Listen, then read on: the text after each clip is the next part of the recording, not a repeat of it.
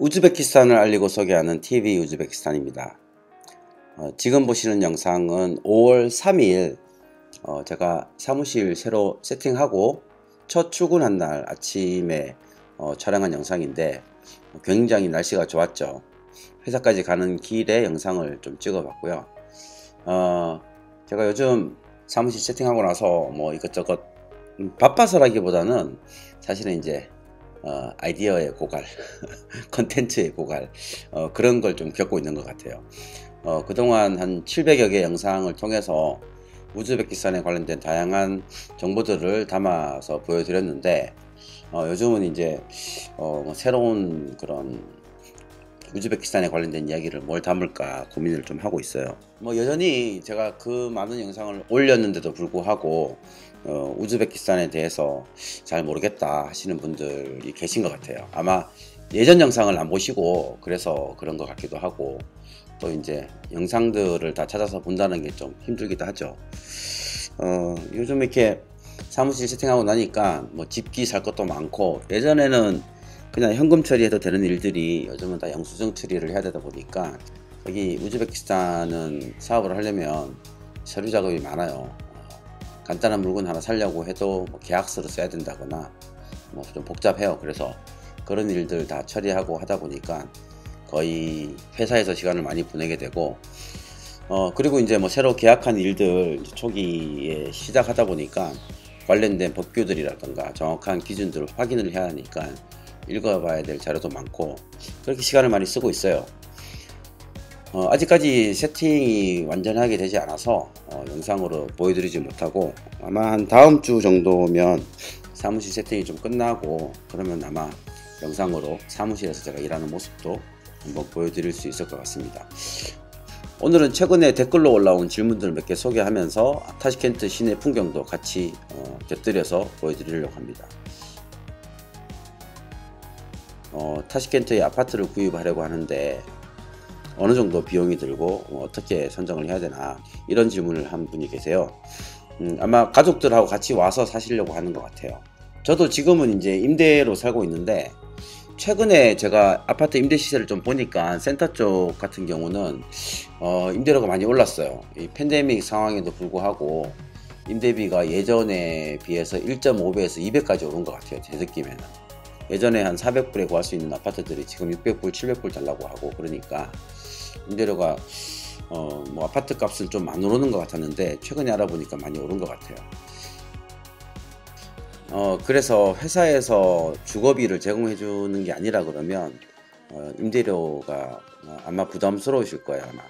그래서 저도 지금 뭐 이 집 지금 제가 살고 있는 집이 뭐 800불 정도 하는 아파트인데 어, 뭐 회사 비용으로 생각하고 하니까 그냥 있는데 어, 그래서 길게 보면 장기로 있기에는 좀 부담스러워서 요 건너편에 있는 아파트 지금 계약 준비를 하고 있긴 한데 아마 시내 쪽에서 아파트를 사시려면 보통 뭐 제곱미터당 지금은 한 1000불 어, 1000불 정도 어, 보셔야 될 거예요.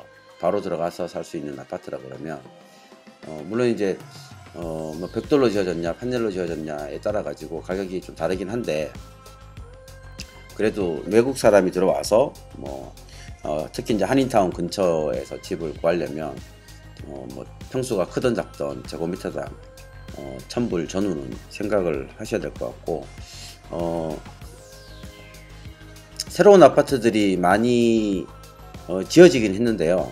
어, 아직까지 입주를 하지 않았어요. 그러니까 입주가 본격적으로 시작이 돼야 실질적으로 아파트가 공급이 된 걸로 계산이 되니까 지금 거의 어, 새로 지어진 아파트들 공사하고 있는 것들이 아직 입주가 안 되다 보니까 지금 아마 단기적으로 어, 임대료가 좀 올라가 있는 게 아닌가. 새로운 아파트들이 임대 시장에 공급이 되면 그때 다시 기존 아파트들은 조금 가격이 내려갈 수도 있고 그리고 이제 새로 지어진 아파트들 같은 경우는 임대료가 굉장히 비싸요.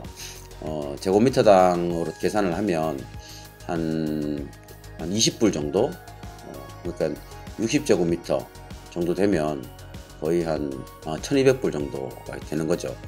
어, 그렇게 따지면 기존 아파트들은 보통 10불 이하 인테리어가 잘 된 집 정도도 한 10불 정도 봤었는데 어, 지금 어, 새로 지어진 아파트가 제곱미터당 20불이라 그러면 어, 아마 어, 개인들 입장에서는 아마 임대해서 들어가기가 쉽지 않을 것 같고 최근에 제가 소개한 그 어, 인피니티라고 하는 아파트 그거 같은 경우는 거의 지금 분양가가 2,000불.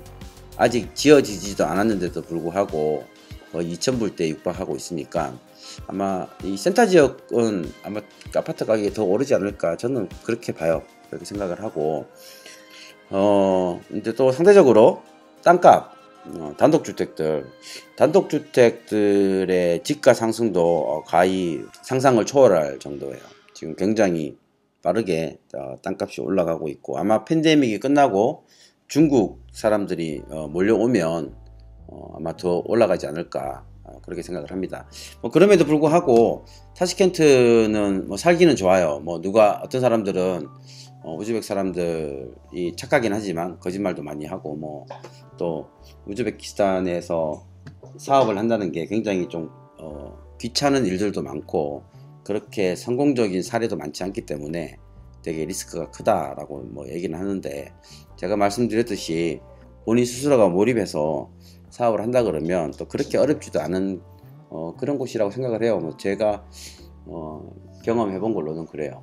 어, 다만 이제 좀 쉽게 가려고 하다 보면은 실수를 할 그런 가능성도 크고 또 이제 본인이 모르는 상태에서 현지인한테 맡겨놓고 일을 하다 보면 결국은 손에 남는 거 아무것도 없이 돌아가야 되는 상황들도 발생할 수 있으니까 그런 부분만 좀 조심한다 그러면 타시켄트에서 어, 살면서 사업도 하면서 일도 하면서 그렇게 하면 굉장히 저는 어, 제가 생각했을 때는 괜찮은 곳이 아닌가. 오늘도 저녁 때 돼지고기 샤슬릭을 먹으러 갔었는데 어, 야외 테이블에서 먹었어요.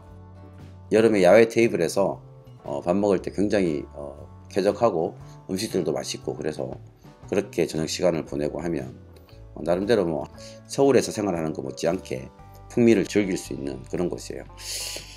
어, 요즘 집에 들어오면 이제 환타랑 같이 씨름을 좀 하는데 오늘도 집에 들어왔더니 이놈의 자식이 어, 집을 또 완- 난장판으로 만들어 놓고 게다가 이제 제가 16층에 사는데 16층에 창을 열어놓고 가면 이놈이 창밖에 자꾸 나가요 위험하게 그래서 지금 창문도 닫아놓고 어, 이 더운 여름에 창문도 못 열고 이거 큰일 났어요 지금 게다가 오늘 어, 욕조에서 목욕탕에서 한판 한 게 이게 변을 보고 변 처리가 깜깜하지 못해가지고 같이 목욕을 또 한 번 하고 그리고 이제 말려놓고 지금 저는 촬영해놓은 영상에 음성을 지금 음성을 입히고 있는 중입니다. 어, 우즈베키스탄에 관련돼서 궁금한 내용들이 있으면 제가 그런 내용들에 대한 답변 형식으로 해가지고 영상을 만들어 올리는 것도 괜찮지 않을까 생각이 되고요. 어, 여기 뭐 또 다른 분 중에 뭐 해외에서 대표 사무소를 낼때 송금된 증빙만으로 가능한가요? 그 금액 제한이 있어요. 한 7,000불 이상의 금액을 은행에다 입금하려 그러면 어, 입국할 때 쓴 증빙 자료를 보여줘야 되는 그런 번거로움이 있긴 한데 그 이하의 비용에 대해서 은행에 입금하거나 뭐 자본금을 넣거나 이럴 때는 확인을 안 하더라고요. 지난번에도 확인 안 했었고 어, 예전에는 이제 달러를 가져오면 어, 은행에서 수음으로 바꿔가지고 어, 그 수음으로 환전한 증명서를 제출해서 이제 자본금을 넣고 했는데 지금은 뭐 그런 건 아닌 것 같아요. 지금은 타시켄트 시내 모습 보여드리면서 어, 주저주절 얘기 좀 했는데 하여튼 어, 앞으로 좀 어, 우즈베키스탄에 관련된 소식들 계속 전하면서 여러분들 찾아뵙도록 하겠습니다. 그럼 다음 영상에서 저는 찾아뵙도록 할게요.